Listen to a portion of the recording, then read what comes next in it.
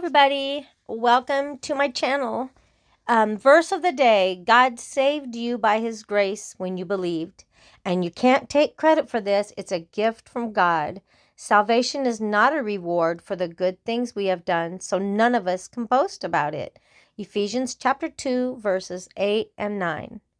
Prayer Most gracious God, quicken me by your Holy Spirit that I may run in the way you have marked out for me.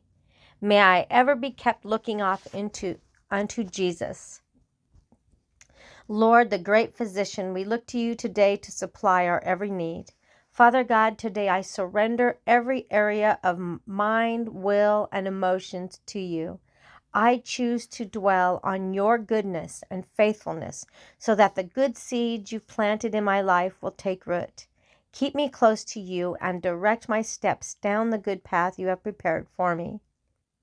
Dear God, just as you faced Adam in the garden and David through Nathan many years ago, we ask you today to keep us accountable to what you have taught us from your word.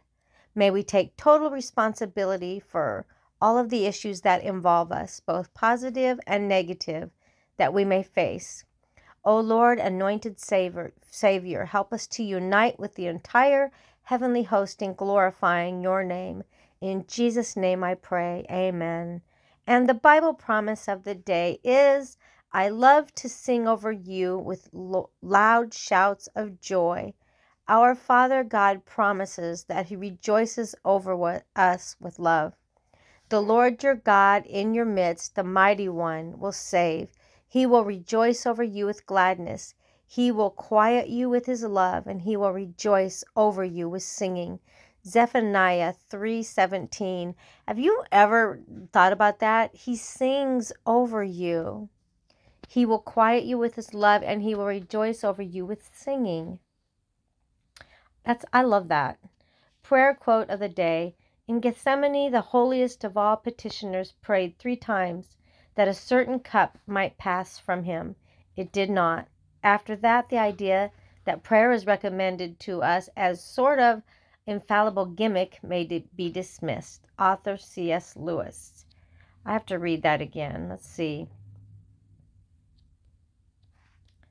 Uh, in Gethsemane, the holiest of all petitioners prayed three times that a certain cup might pass from him. It did not. Wait a minute. Are they talking about Jesus in Gethsemane when he asked, Lord, if it's possible to take this cup from me? But he also said, Not my will, but yours. After that, the idea that prayer is recommended to use to us as a sort of infallible gimmick may be dismissed. Author C.S. Lewis. Comes down to yes, God answers prayers, and many, many times He answers them uh, the way you ask, but sometimes the way you ask is not the way that is the best. I love you guys. Have a wonderful day, and God bless you. And do not forget to talk to Jesus today because it really makes a difference.